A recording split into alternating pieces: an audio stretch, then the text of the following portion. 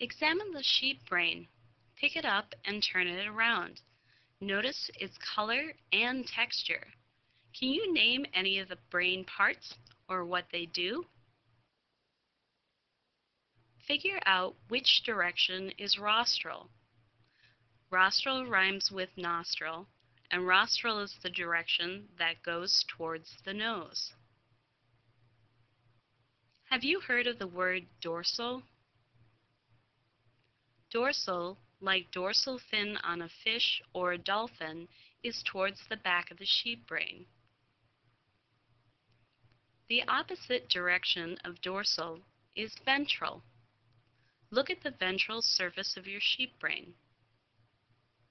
You may notice a small grayish ball that is cut in half in the middle of the ventral surface. That is the pituitary gland, which releases hormones like growth hormone, estrogen, and testosterone. Notice the covering on top of the brain. It is called the dura mater, or durable or tough mother, because it's a thick leathery meninge, or layer, that protects the brain. Next, you can take the dura mater off, starting from the rostral end of the sheep brain. You may need to make one small cut with the scissors by the rostral or nose end to be able to take the dura off.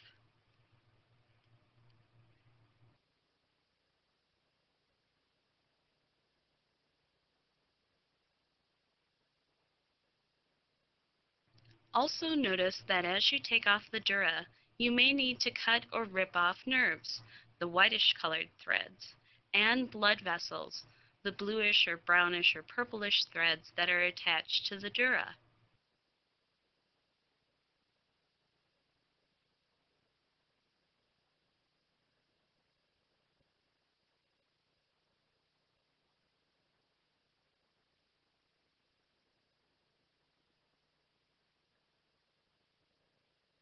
After you take the dura mater off, try pulling on it to see if it is hard or easy to tear. Now that you can see the brain fully, figure out if you have the right side or the left side of the brain. After you figure out what side you have, find another person or group that has the opposite side of the brain and put them together. Notice how big the whole sheep brain is.